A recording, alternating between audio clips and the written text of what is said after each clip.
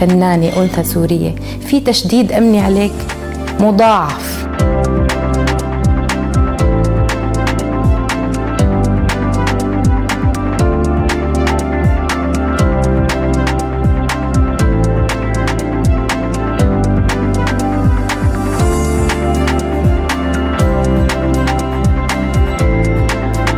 أول أعمالي كان بهولندا اسمه السقوط في العدم.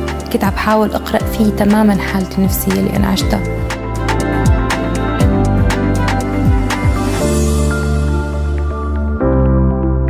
ظاهرة يثار حولها الكثير من الجدل والتكهنات حول مصائر أصحابها من الفنانين السوريين في جميع المجالات الإبداعية ومن الجنسين ذكورا وإناثا.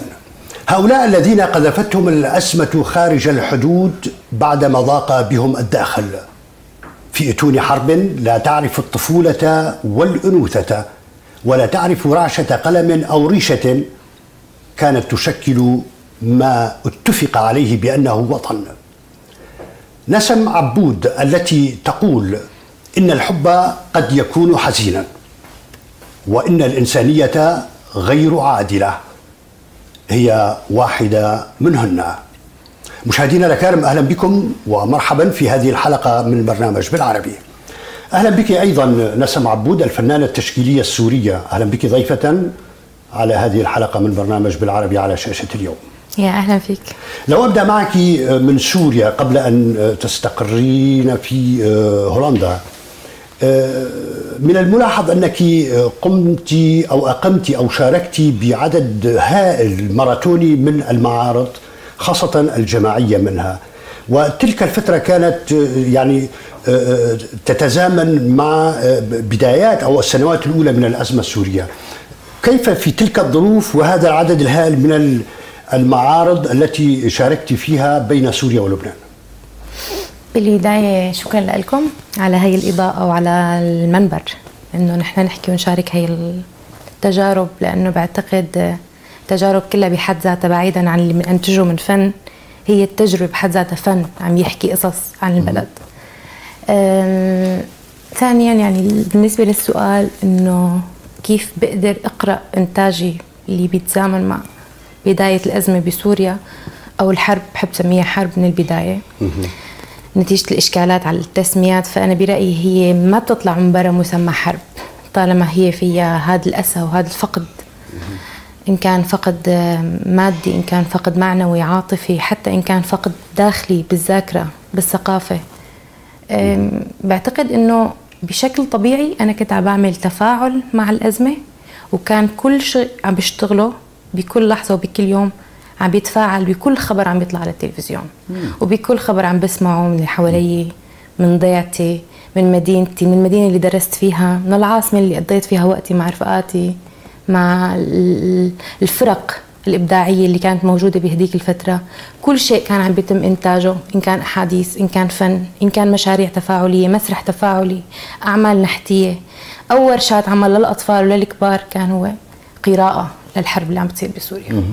يعني تلك الفترة كانت تشهد يعني وضع أمني أو أوضاع أمنية مشددة يعني.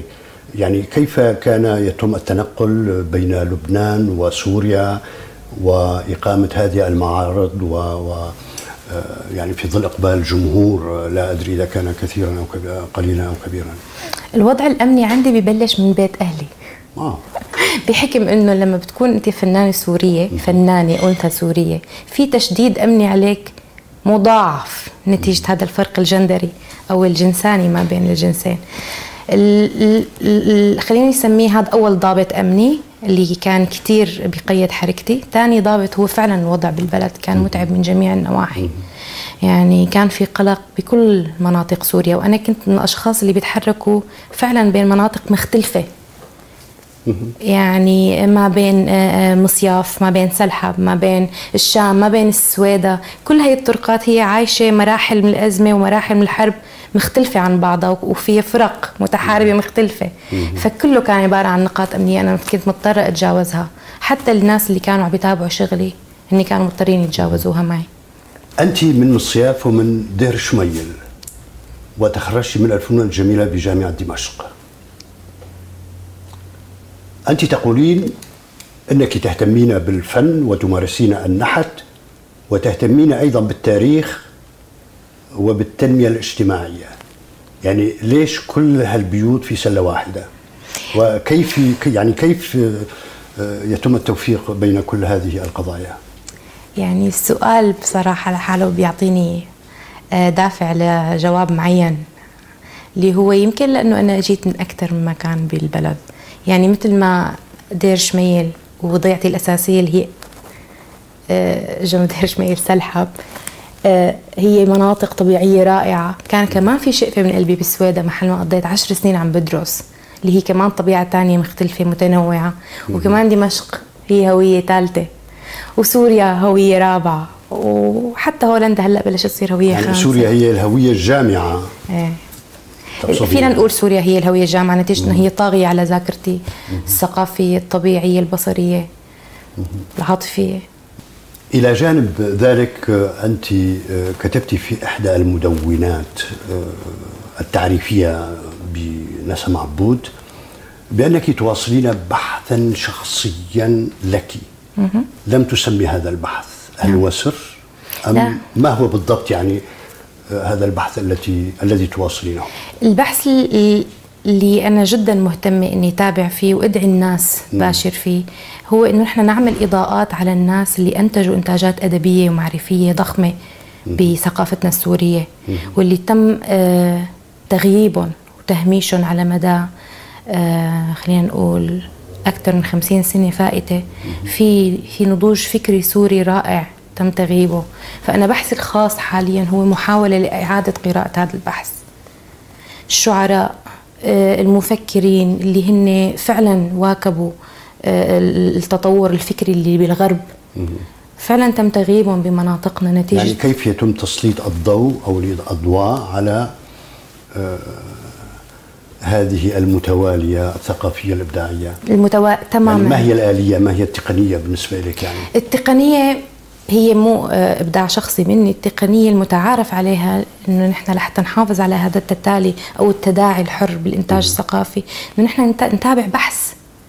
يعني في حال في إنتاج شعري رائع بحثه قراءة كلماته قراءة العناصر اللي كونته لهذا الشعر دوافعه وشو تأثيره على المجتمع. هي الدراسة رح تكون معرفة تانية. وهيك أنا بعتقد هو هذا المفتاح أنه نحن نقدر نخرج من أزمتنا. أنت تقولين أيضا بأن آه، دافعك آه، للبحث والفضول هو سبب استمرارك في استمرارك في الحياة اليومية. نعم. يعني آه، لو أخذت أنا الجانب الفني من من من من حياتك في ظل هذه الاستمرارية التي تصرين عليها نعم.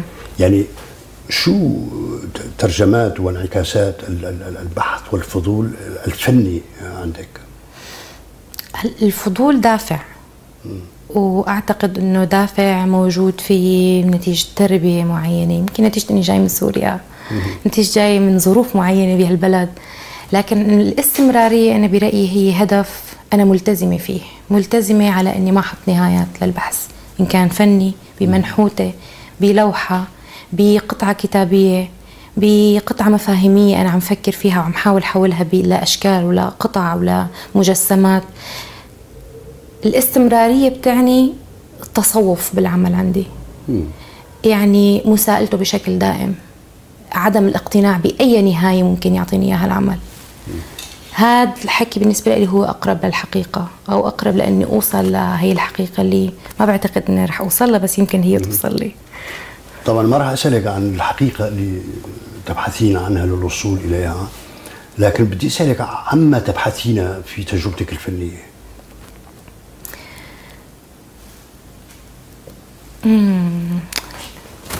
خليني جاوب من الناحية الفنية. أنا عم اسالك من الناحية الفنية. نعم. نعم. ال... برأيي إذا أنا بدي قيس الوصول أو عملية الوصول بأعمالي الفنية أو خليني أكون أقرب للواقع والمفاهيم اللي عم بشتغل عليها أنا بقيسها بقديش ممكن تلامس الناس قديش ممكن توصل للجمهور. يعني في بيقولوا إنه التفكير الفني أو البحث الفني له فرعين أساسيين بالحياة سماهم بليخانوف أعتقد. إنه في فن للفن لأجل الفن لتطوير الفن بحد ذاته. وفي فن للمجتمع في فن للناس. في فن هو مفاتيح وأدوات لوصول الناس ولايصال الناس لشيء آه، أفضل انسانيا.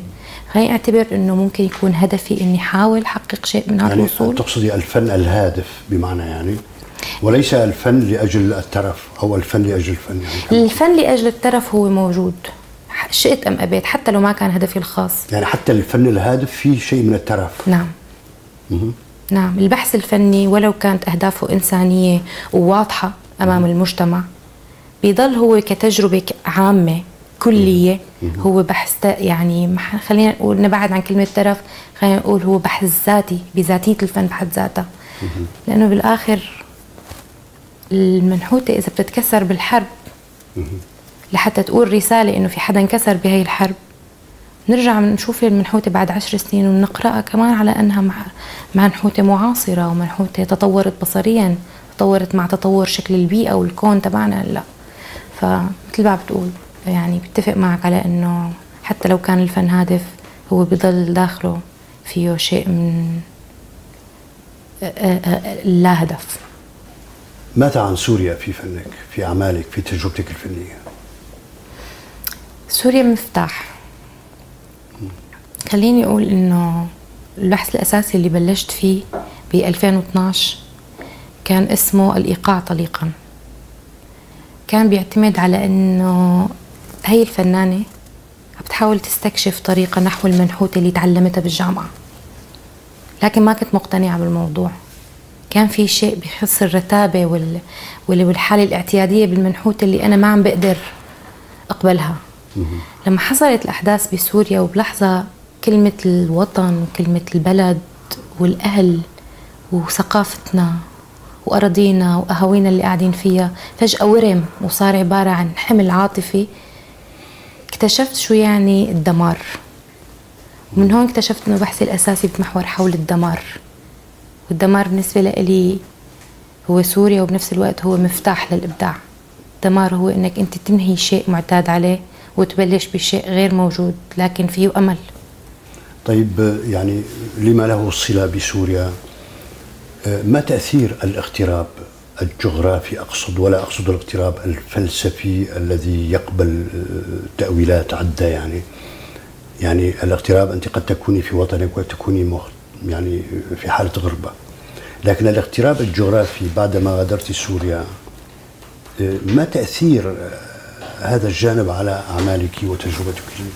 الفنيه تأثير جدا واضح شو اللي شو اللي, شو ومباشر. اللي غير عندك يعني؟ العلاقات آه، البصريات اللي حوالي الناس وجوه الناس اللغة اللي عم ترن بمسمعي.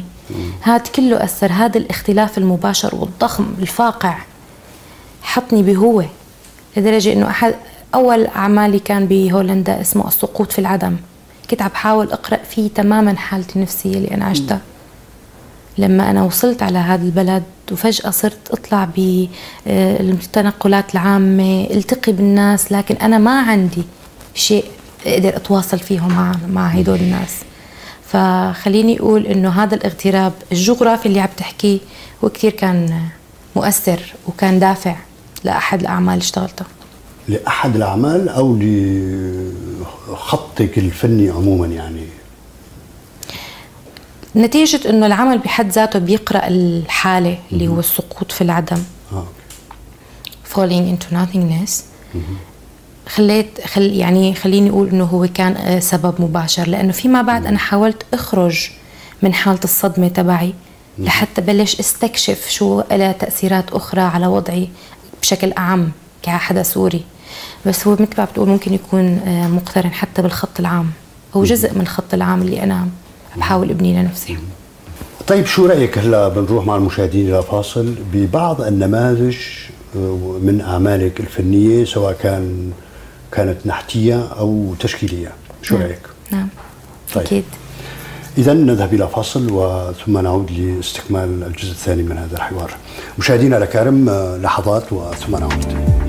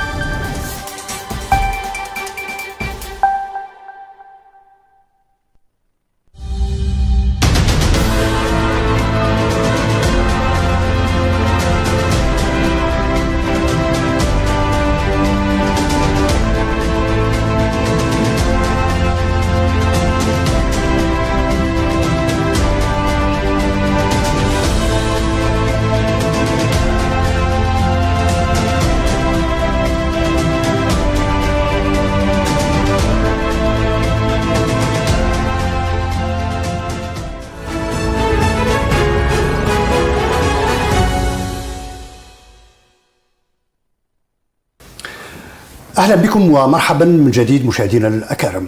أهلا بك أيضا نسم عبود الفنانة التشكيلية السورية، أهلا بك في الجزء الثاني من هذه الحلقة.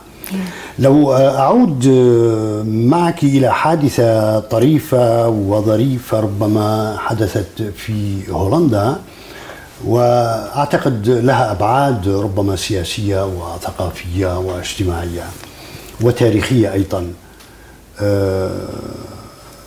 الحادثة تتعلق بأنك أنت ومجموعة من الفنانين الآخرين قمتم باحتلال متحف واستوليتم على هذا المتحف لمدة شهر كامل. نعم. يعني ما هذه المبادرة الطريفة وما الغرض منها؟ المبادرة كانت عبارة عن مفهوم تم تصميمه صممه الكاتب الهولندي أرنولد كرومبرغ واقترحوا على مجموعة من الفنانين القادمين جدد لهون على هولندا. كان جزء منهم لاجئين جزء منهم مهاجرين فتم التسوية على إنه خلينا نقترح اسم عام لهدول الفنانين الغرباء على إنهم قادمين جدد. وكان السؤال الكبير اللي طرحه كرومبرغ مع الفنانين اللي هو نحن 17 فنان معظمنا سوريين. لمين المتحف؟ لمن هذا المتحف؟ For whom is this museum؟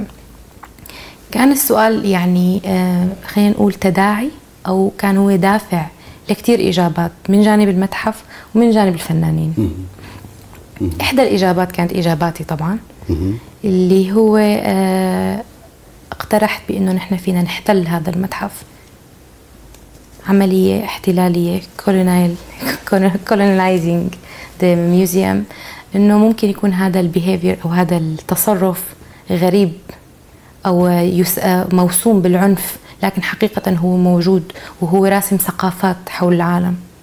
فكان الاقتراح بإنه ممكن نعطي صورة لهي الثقافة اللي بتنرسم بعد الاحتلال. يعني شو الفكرة اللي حبيتي توصليها من خلال احتلال متحف في هولندا. خليني أشرح العمل اللي اشتغلته وممكن أقدر أوصل للفكرة من خلال شرح العمل، العمل كان مجموعة سلسلة من الحركات التفاعلية بقلب المتحف على مدى شهر.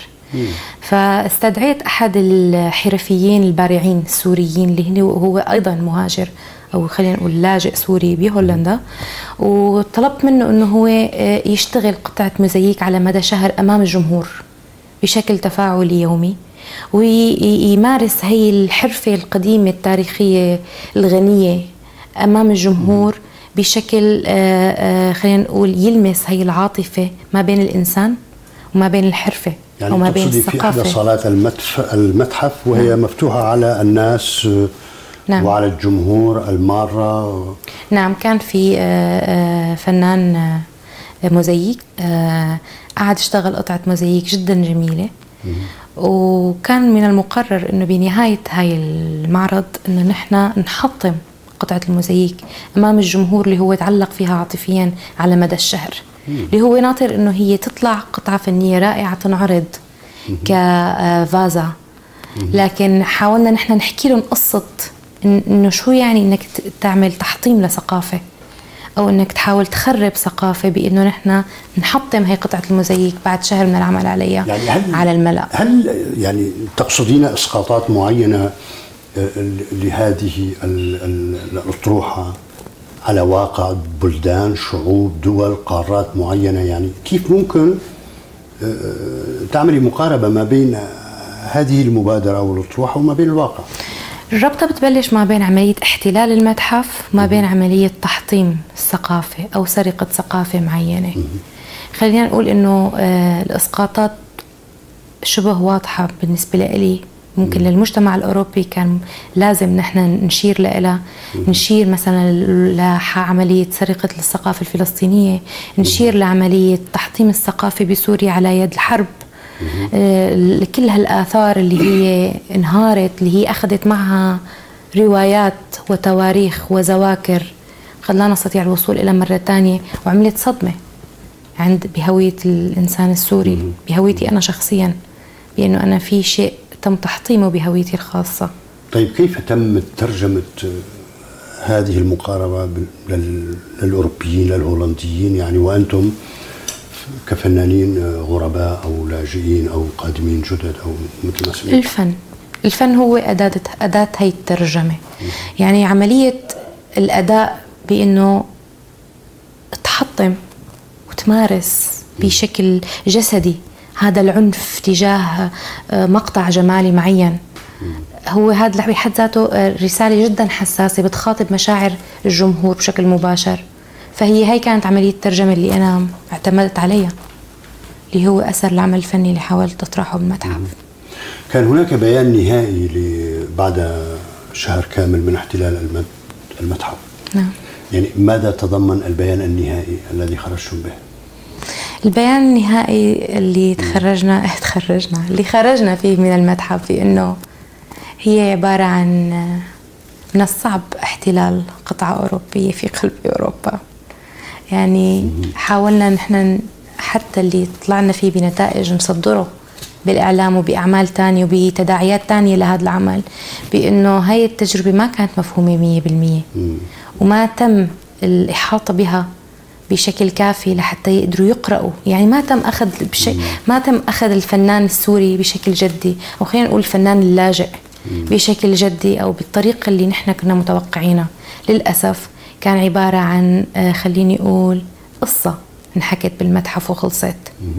وهذا الشيء عمل غضب عند بعض الفنانين وعلى أساسه تم يعني أنتم ما مشاريع قدرتوا أخرى. توصلوا الفكرة أو الرسالة من آه، وراء احتلال المتحف للهولنديين أم أن الهولنديين لديهم عقلية أخرى تختلف عن عقلية السوري أو العربي أو الشرق الأوسطي؟ هذه العقلية لا يمكن أن تتقبل أو أن تفهم كيف يتم تدمير ثقافة أو احتلال ثقافة. خليني أقول إنه الجواب صعب ينحط بين خيارين لأنه ما فينا نعمم. الجمهور متنوع. لكن كمان الحرب اللي بده اللي عم بيقوم فيها الفنان السوري بأوروبا مو سهلة. أمام هي التداعيات والسمعة والوصمة اللي موجودة على الهوية العربية أو الهوية السورية والهويه خلينا نقول الشرق أوسطية. هي كانت صعبة وكانت هي عبارة عن عثرة بيننا وبين الجمهور الأوروبي وهذا ممكن يكون أدى أنه رسالتنا ما وصلت 100% نعم. يعني لكن عملت تأثير. كيف يعني؟ عملت تأثير يعني قد يكون العمل الفني بلحظة معينة يعني على مدى التاريخ فنانين كتير اشتغلوا أعمال. لكن ما تم اكتشاف هذا ال- الإنتاج أو أهمية إنتاجهم الفني لبعد أعوام. لكن هي أعمالهم لما تم إنتاجها عملت تأثير أو فتحت باب وعي معين أو توجه معين للناس لحتى يبلشوا يفكروا منهم آه، الفنانين العصر الحديث. لما بلشوا يطلعوا من القطعة الفنية المثالية وبلشوا يشتغلوا أبستراكت تجريد وتكعيبية ودادائية ما كان مفعم أعمالهم مفهومة لكن هي صنعت آه، آه، آه، إيحاءات تلميحات لشيء أعظم من الفن من المنحوت المثالية لشيء لاكتشاف الجمال بطرق أخرى. فبلكي نحن هاي المحاولات لأن بالمتحف بالصالات الأوروبية هي دعوة أو آه، ممكن تكون إعادة توجيه لعملية التفكير تجاه الهوية يعني الشرق قصدك الأوسطية. إنه التاريخ في هولندا سجل بأن بعض أو يعني لفيف من الفنانين الأجانب وبينهم فنانون سوريون احتلوا متحف في هولندا. نعم. إشارة إلى الدمار الثقافي الذي آه، يتعرض آه، له يعني هذا القصد يعني؟ نعم وأعتقد إنه السؤال كمان فيه محتوى جدا ضخم. له دخل بإنه الحدود اللي بتعطي آه، هوية لمكان معين أو بتصنع من مكان معين آه، آه، يا شو الكلمة؟ لما الحدود بتحطها حوالين أرضك بتقول هي أرضي لإلي ملكي. شو معنى الحدود اللي أنت حطيتها؟ وشو معنى ملكي؟ وشو معنى ولمين المتحف فعلا بالضبط؟ تخيل السؤال كان له دخل بإنه هل فعلا اللاجئ هو لاجئ؟ هل هو فعلا آه، بحاجة لاذن بإنه يجي من مكان يهرب من مكان فيه دمار أو فيه حرب لمكان فيه سلام أو فيه أمان؟ هل هذا الشيء بحاجة لفيز وبحاجة لعمليات هروب ضخمة وتكتيكية؟ أم إنه هي الحدود اللي موجودة بين الدول واللي بتصنع للناس territories اللي بتخلي ال- ال- ال- الجغرافيا. يا أنا قصدي إنه الملكيات اللي بتصنع ملكيات الأشخاص الحدود اللي بتصنع ملكيات الأشخاص هل هي حقيقة صحيحة موجودة؟ ولا هي فقط سبب ب- بمآسي ناس مثل اللاجئين؟ يعني قصدك هذه الحدود هي جلبت ال ال الويل والبلاء طبعاً. لشعوب الأرض قصدك يعني. طبعا فانا برأيي. وهذه الحدود يعني بمعنى آه، آه، وضعت بدا- بدافع مصالح معينة دوليه تاريخية إلى اخره من. يعني تماماً. ليش أنت معترضة على الحدود؟ بعيد عن الأسقاطات بشكل مباشر الحد هو عبارة عن إخضاع للآخر إخضاع لحركة الآخر تجاهك ببساطة فعمليا طالما في عملية اخضاع يعني في ظلم. أنا معترضة على الظلم اللي بتنطوي عليه فكرة الحدود. يعني آه، الحدود بين الدول بشكل واضح سببت أزمات أدت لوفاة آلاف اللاجئين السوريين. الفيزا فكرة الفيزا يعني الحدود هي مو بس خط على الأرض أو هي مو بس حاجز بيمنع حدا يعبر من بلد لبلد. الحدود هلا عبارة عن مصاري عبارة عن آه، تجارة عبارة عن فيز. عبارة عن آه، آه، سياسات. دول. يعني فعمليا فكرة الحدود بحد ذاتها بطلت بريئة صارت تحمل الكثير من الظلم. يعني ربما البعض يرد عليك ويقول إذا انتفت الحدود انتفت سيادات الشعوب برمتها أو دول برمتها أو كذا. يعني ألا تعتقدين بأن الحدود هو رمز لسيادة هذه البقعة الجغرافية؟ التي ينتصب فوقها علم آه، اسمه علم وطني؟ لا لكن خليني أكون واقعية بجوابي. مو يعني ال- الهدف ليس هو التأثير على سيادة ممكن تحافظ على أمان شعب أو جروب أو آه، مجموعة من الناس. أو خلينا نقول نتي... إنه النتيجة لحت... الوصول لنتيجة إنه نخفي الحدود بين الآخرين هو من الصعب ومن المستحيل ولا يمكن. إنه يصير بين يوم وليلة. لكن تضخيم التطور اللي عم ينبنى عليه فكرة الحدود إذا ما تم مواجهته وتوجيهه بطريقة أكثر إنسانية هو رح يكون تأثيره جدا سيء. يعني مو يعني- بس فكرة الحدود بصراحة. بمعنى أن الحدود آه، هي تقوم بعمل آه، تقييدي لحركة البشر على خلاف مثلا آه، الإعلان العالمي لحقوق الإنسان حرية الحركة لأي إنسان من أي بلد إلى آخر. وبالتالي تمام. ربما الحدود من جهة أخرى تضبط إلى حد ما آه، الحركة أكيد. ال- خليني أقول الهدف التنظيمي للحدود إذا بدنا نحكي من باب الفيزياء الكمومية الهدف التنظيمي للحد ما بين آه، قطعتين أو آه، مجسمين آه، موجود. ومرغوب وأعتقد إنه مفيد في بعض الأحيان. لكن نحن عم نحكي عن التراتبيات اللي انبنت عليها آه، هي القصص. يعني مفاهيم مثل الحدود مثل الهويات مثل المستقبل مثل الحياة. يعني هي قصص كثير صار في جواتها عنصرية وصار في جواتها تصنيفات وصار في جواتها ناس محرومة وناس آه، غير محرومة. يعني نحن ما فينا نلغي الأدوار الأساسية لهي المفاهيم، الحدود موجودة، هي شيء وجودي، لكن نحن فينا نحارب التداعيات السلبية لها مثل اللي عم بيصير سياسيا أو اقتصاديا. يعني في حدود أحيانا تقسم وتجزأ آه، شعب كامل إلى جزئين وثلاث وأربعة وتقيم حواجز وتقطع الصلات آه، نعم. التاريخية وال- والغاية هي تحقيق سيادة معينة. وهذا بالتالي. وحتى السيادات يعني خلينا ننطلق للسيادة من من مبدأ آه، ال- الأب بال- بالبيت. سيادته هي ما بس هدفها إخضاع الأولاد وإخضاع المرأة. لا هي ممكن يكون هدفها حماية ممكن يكون هدفها آه، آه، رمزي ممكن يكون هدفها عاطفي. في كتير أهداف تانية لكن حقيقة هي المفاهيم صارت عم تتحمل شيء. يعني قصدك بشع. الحدود والعلم قبيح. الوطني قد يشكلان أحيانا أداة قمع بدل من بدلا أن من أن تكون أداة حماية. طبعا. هذا قصدك يعني؟ طبعا. طبعا. وهذا ما بيلغي إنه هي لازم تلتزم بهويتها كأداة حماية. لكن ما بيلغي بإنه نحن مط- مطالبين بإنه نضيء على الهوية الثانية اللي هي عم تسبب ظلم على الناس. طيب ما رأيك الآن مثلا في مخططات في المنطقة آه، على مو على هامش وإنما في صلب الأزمة آه، في سوريا آه، مثلا تركيا يعني تسعى إلى تمديد وتوسيع حدودها على حساب سوريا والعراق وإلى آخر ما هنالك. يعني هذه لها علاقة مباشرة بما تطرحينه أنت من خلال احتلالكم للمتحف. هنا ما رأيك؟ ما رأيك؟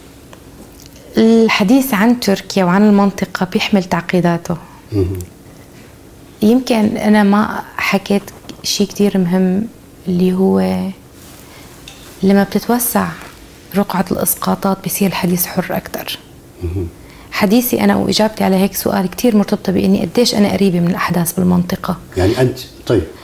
للأسف أنا بعيدة عن الأحداث لكن بالمبدأ أنا بعدني ملتزمة بأنه فكرة التوسيع طيب أنت والحدود والسيادة هي مستغلة. وسورية نعم. وهناك دولة أخرى أوكي تحدثتي عن الحدود واحتلال المتحف أوكي. تسعى إلى تمديد وانتهاك سيادة بلد آخر اللي هو بلد جار يعني عبر الحدود و وعبر نقل العلم التركي إلى مناطق محتلة في في في شمال سوريا. شيء مشابه للي عم بيصير بإسرائيل و... تماما. طيب. خليني أرجع صحح أنا هذا- كلامي للي عم بيصير. بفلسطين وإسرائيل. يعني مهم. يعني هنا أوجه المقارنة يعني أنا عم سألك يعني. أنا برأيي إن وجه المقارنه ثابت. يمكن ما- من حظي إني غير مطلعة بقرب لحتى أحكي رأي أكثر موضوعية طيب يمكن. هاي مسائل سياسية يعني. خلينا نبقى بالفن معناتها بالجانب الفني وتجربتك الفنية. أه بدي أرجع للبيان النهائي لاحتلال المتحف في نعم. هولندا. يعني آه، أهم بند أهم فكرة في البيان النهائي بماذا خرجتم أو ماذا كانت هذه الفكرة؟ ال- الخط العريض يعني. الخط العريض طبعا كان- لل- للهولنديين على الأرجح طبعا الح- الخط العريض كان إنه نحن كنا نطمح بإنه الإجابة على السؤال لمن هذا المتحف بإنه يكون للجميع. أها. للأسف هي كلمة للجميع ما كانت آه، مثل ما حكيت ما كان الوصول لها يعني ما وصلنا لها. لكن نحن اقترحنا بإنه هذه الاجابه الصحيحه أنت دعيتي إلى آه، منتدى هولندي لبحث أوروبا ومستقبل أوروبا. نعم. وأنت ليس لك إلا بضع سنوات قليلة هنا. نعم. ماذا لو آه، يعني آه، تم إسقاط مثل هذه المبادرة الثقافية في بحث ومناقشة ورصد آه، مستقبل قارة؟ ها؟ نعم. لو تم إسقاط هذه المبادرة على دول ومناطق وبلدان الشرق الأوسط. يعني من يشارك في رسم معالم ومستقبل بلد أو دولة في المنطقة؟ فينا نحكي عن سوريا بما يعني هل هذه أنه مثل هذه مألوفة ممكن تكون يعني. موجودة؟ يعني ممكن تكون مف- فعالة موجودة بشكل أو بآخر؟ هاي المبادرات فعالة بكل بيئة وبكل لحظة حتى بزمن تفتت فيه مجتمع معين بعد الحرب وحتى بزمن فيه آه، كتير ناس آه، مستجدين على البلد وبجنسيات مختلفة. هاي المبادرات فعالة بكل لحظة. مبادرات اللي هي بتخلق حوار وبتخلق مشاركة قصص خاصة وعامة بين الأشخاص وبتنور الناس عن أحوال الناس. هي مبادرات مبادرات فعالة بكل لحظة وبكل منطقة. يعني لو أخذنا لبنان يعني هل شهدت أو ممكن تشهد لبنان آه، آه، مبادرات لتف... للتفعيل النخبوي لاستشراف مستقبل هذا البلد الذي يعيش ازمه منذ زمن؟ طبعا. هذا الشيء موجود حاليا بالحركات الشبابية اللي أنا على صلة معها إن كان عمريا وإن كان آه، بشكل مقرب. هاي المنتديات أو هاي الفعاليات اللي هي بتسبب مشاركة للقصص الخاصة بين الناس. هي موجودة بالأعمال الفنية بين الفنانين اللبنانيين هلأ. موجودة بالنشاط اللي بالشارع اللبناني هلأ. ممكن هو ما عم بيقدر ياخذ مساحته السياسية نتيجة الحالة السياسية الخربانة بالمنطقة? لكن هذا ما بيلغي إنه هي المنتديات موجودة ولو على أساس خلينا نقول آه، بصوتها ضعيف أو خلينا نقول صوتها محدود لكن هي موجودة وهذا هذا الأهم إنها موجودة. آه، أنت شاركتي مع فنان سوري آخر في عمل مقتبس من رباعيات الخيام. نعم. يعني ما ما الفكرة من هذا العمل؟ يعني مضمون الفكرة ماذا أردتم من هذه الفكرة؟ مضمون العمل آه، بيحكي عن الثقافة قصة الثقافة. على العموم الثقافة هي محور أساسي ببحثي العام. بحكم إنها هي أداة وهي نتيجة أو هي هدف آه، باتجاه صناعة وطن أو صناعة سلام. العمل آه، اسمه إعادة هيكلة للثقافة. وحصرا إعادة هيكلة لقصيدة رب... لقصيدة آه، عمر الخيام أو خلينا نقول لرباعيات الخيام. القصة كانت مستوحاة من عملية التغيير اللي صنعتها السيدة أم كلثوم لما غنت رباعيات الخيام. وفي بحث بيقرأ التغيير اللي تم تطبيقه على كلمات الأغنية اللي هي كانت عبت الكلمات الأغنية كانت هي الرباعيات. التغيير هذا تم آه، صناعته بهدف سياسي وبهدف ديني. كنا عم نحاول نعمل إضاءة بأنه لما بيكون في عندك آه، نوايا سياسية أو دينية أو أيا يكن يعني آه، بعيدا عن مذمة النوايا لكن حقيقة وجودها للنوايا هي بيؤدي لتغيير شكل الثقافة. بيؤدي لتغيير التأثير تبع هي الثقافة. فكنا عم نقول مثل ما تغيرت رباعيات الخيام بهي الأغنية لأهداف سياسية معينة. رباعيات الخيام عم تتغير كل يوم لما عم عم تنطق بلغة جديدة لما عم بيتم تناقلها بأوساط سياسية ثانية رباعيات الخيام كانت رمز لكتير إنتاجات ثقافية نحن برأينا. عم تاخذ شكل آخر لما بتنتقل من مكان لمكان من منبر لمنبر. يعني بمعنى التغير الثقافي هو ليس نقطة ضعف. لا. التغير الثقافي ليس نقطة ضعف قد يكون يحمل الكثير من المخاوف. لكن هو ضمنا ونتيجة هو تقوية هو آه، اطلاع هو تنور آه، خليني أخذ مثال عن شيء اسمه آه، سميناه نحن عملنا في يوم من الأيام مشروع عن الثقافة الهجينة. اللي هي عبارة عن تراكب مجموعة ثقافات مجموعة حرف. تاريخية مع بعضها لتصنع حرفة واحدة. بتشبه العملية البيولوجية للتهجين. التهجين بيجمع آه، خلفيات مختلفة لصناعة مخلوق أقوى. فأنا برأيي هذا الشيء بينطبق على الثقافة. عملية الرحلة اللي بتصنعها الثقافة هي آه، ضمنا رايحة باتجاه القوة. يعني ما مدى آه، وجود هذه الفكرة على أرض الواقع تاريخيا وراهنا في منطقة الشرق الأوسط مقارنة بأوروبا يعني. خلينا ناخذ مثال كثير قريب هلأ علي. آه، الثقافة المغربية اللي هي آه، عبارة عن حركة هجرة ضخمة في هولندا. الثقافة المغربية هي مو بس حافظت على هويتها خلينا نقول الشمال إفريقية والشرقية والعربية والإسلامية الغنية. هي كمان اغتنت من الثقافة الهولندية الغربية.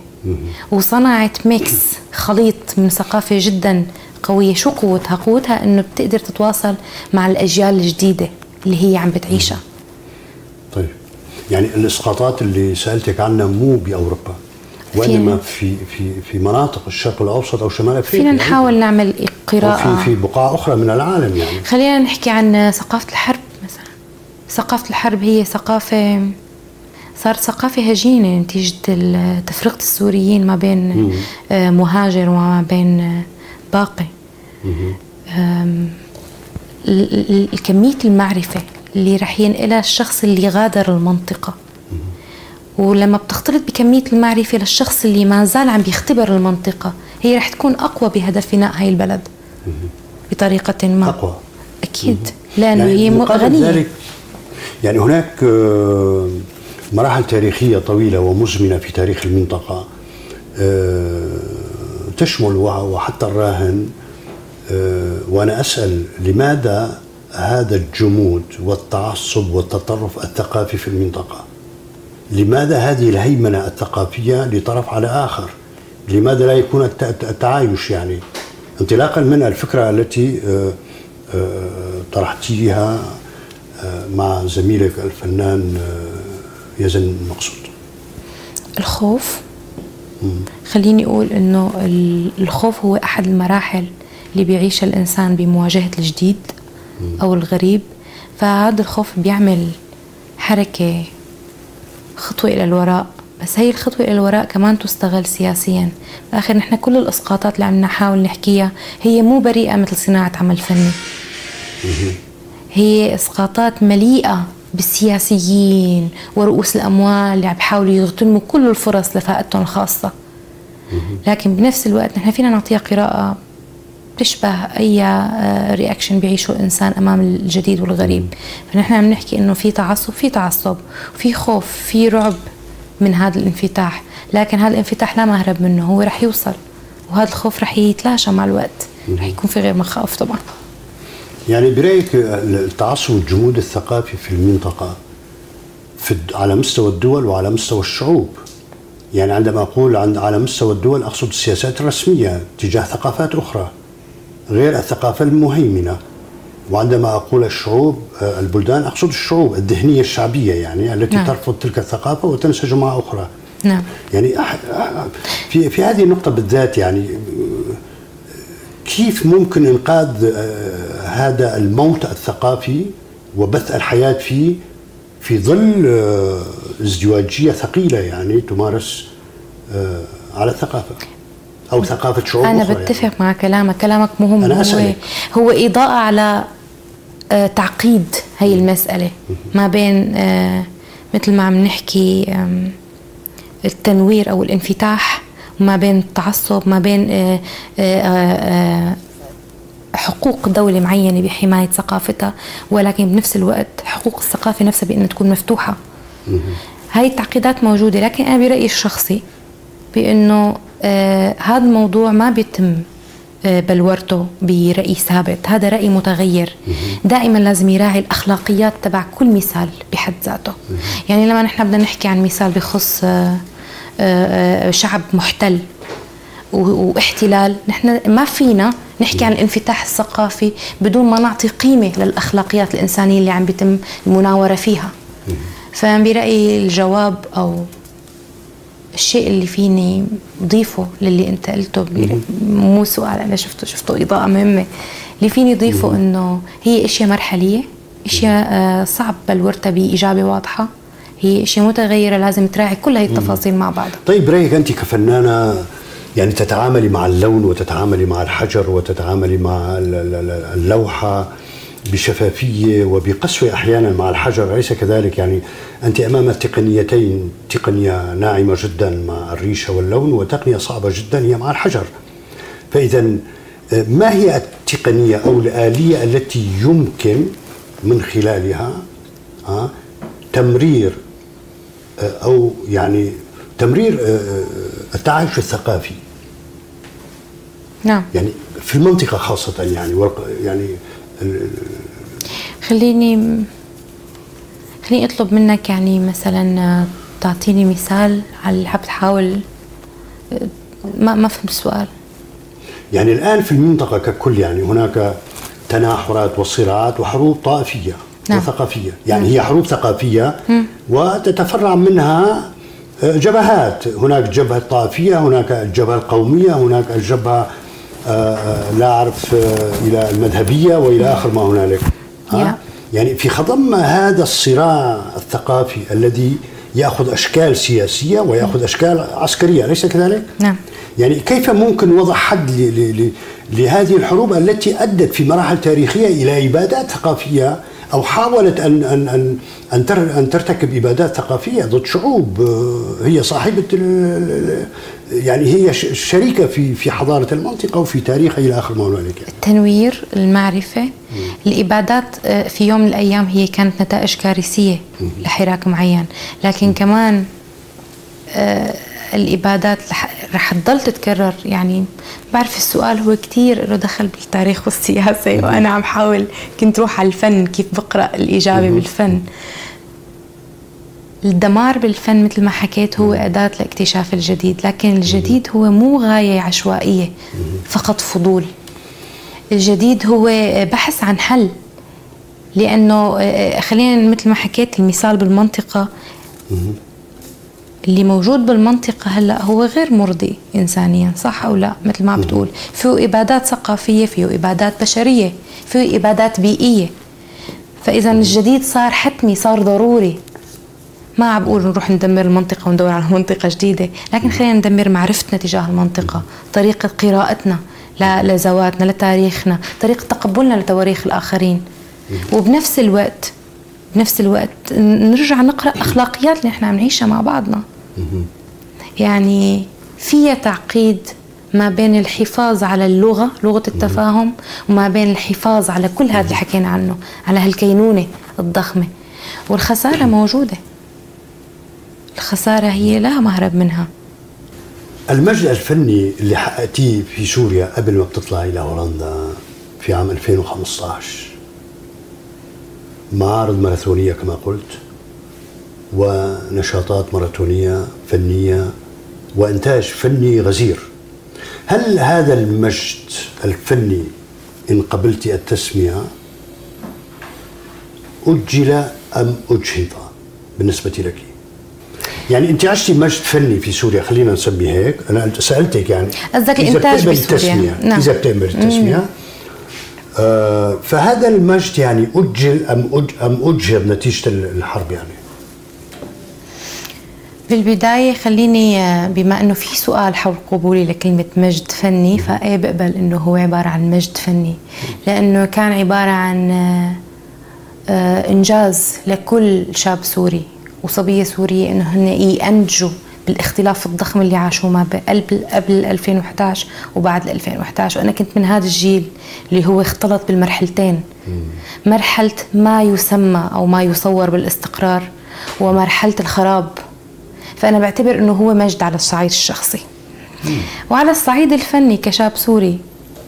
الجانب الثاني من السؤال كان له دخل بأنه أجهض أو أجل بعتقد إنه من التنتين من الكلمتين أنا فيني جاوب في جزء منه أجل نتيجة إنه الإمكانيات كانت ضيقة من جميع النواحي. وفي جزء منه أجهض نتيجة إنه في بعض الطروحات على مدى يعني على آه على سياق آه إنه مجموعة النحت اللي أنا أنتجتها بسوريا كانت عبارة عن بتحكي فكرة العري الجسدي أو بتحكي فكرة إنه أنت تكون آه بدون غطاء بدون حماية. حتى فكرة العري الجسدي تحاربت ببعض المجتمع المناطق بمجتمع سوريا. فخليني أقول إنه في جزء كمان من تجربتي اجهد وعم حاول إرجع فيقه الفنانة التشكيلية السورية نسم عبود شكرا جزيلا لك. كنت ضيفة على هذه الحلقة. شكرا لك أستاذ كريم. كان حديث ممتع وبتمنى ما تأخذوا عني فكرة أني تفاؤلية كثير تفاؤلية شوي لكن برأيي أنه اللي حكيناه كثير مهم يبلش نضيق عليه نتجه نحوه لابد من التفاؤل دائما يعني. التفاؤل شيء كثير حلو دائما. شكرا. مشاهدينا الأكارم لكم أيضا الشكر الموصول على حسن المتابعة. إلى اللقاء.